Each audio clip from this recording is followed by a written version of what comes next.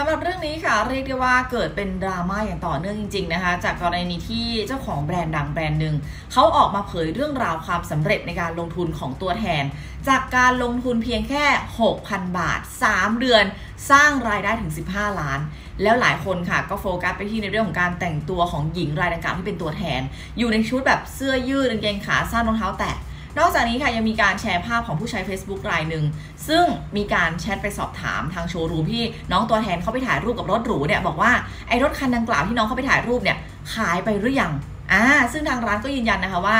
รถคันที่อยู่ในภาพเนี่ยยังไม่ถูกขายไปแต่อย่างใดค่ะ มันก็เลยเป็นเรื่องราวฮือฮาขึ้นมานะคะ แต่ต้องบอกว่าทางเจ้าของบริษัทแบรนด์ดังกล่าวเนี่ยออกมาตอบเหมือนกันเรื่องรถนะคะ บอกว่าตัวเองเนี่ยอยากจะขอตอบตรงนี้เลยว่า น้องตัวแทนเนี่ยยังไม่ได้ซื้อ ช่วงนี้เนี่ยน้องยังต้องนำเงินที่ได้จากการขายเนี่ยมาดูแลครอบครัว ปรับปรุงบ้านให้ครอบครัวก่อน วันนั้นเนี่ยน้องแค่ไปดูรถพร้อมกับตัวเอง ซึ่งเป็นเจ้าของแบรนด์ แล้วก็คนอื่นๆ ด้วยความที่น้องอยากได้เนี่ยเป็นรถในฝันที่น้องอยากเอ่ออยากได้แล้วก็อยากไปเห็นด้วยตัวเอง เพื่อที่จะเป็นแรงบันดาลใจแล้วเก็บมาเป็นเป้าหมาย อยากจะสร้างแรงผลักดันแรงฮึบไปกับตัวเอง ซึ่งมันไม่ใช่เรื่องแปลกอะไรเลยกับการที่น้องไปดูรถอะเพื่อที่น้องจะได้ถ่ายรูปกับรถในฝันอ่าเหมือนเป็นการแบบว่า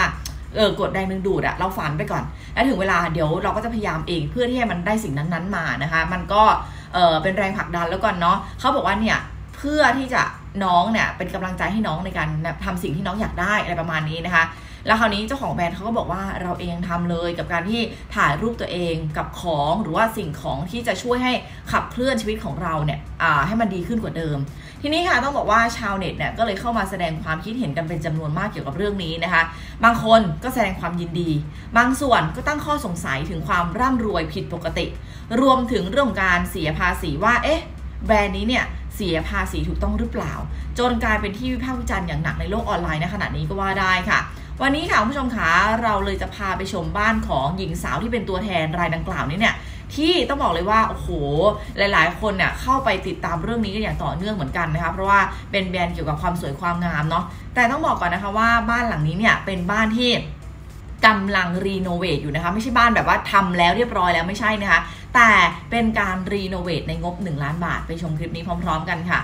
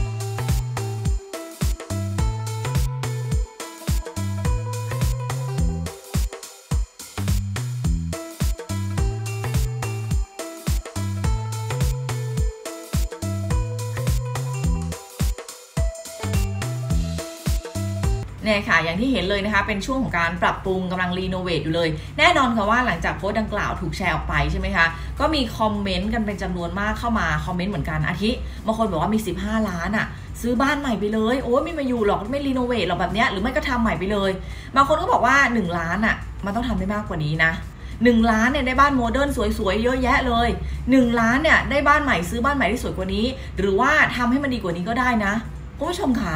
พอกระแสมันถูกปล่อยออกไปปุ๊บหลายคนก็หลายความคิดเห็นแตกต่างกันออกไปค่ะ เอาเป็นว่าให้คุณผู้ชมพิจารณาเองก็แล้วกันนะคะ และนี่ก็คือข่าวไวไทยดิวแล้วคุณจะไม่พลาดถูกกระแสร้อนของสังคม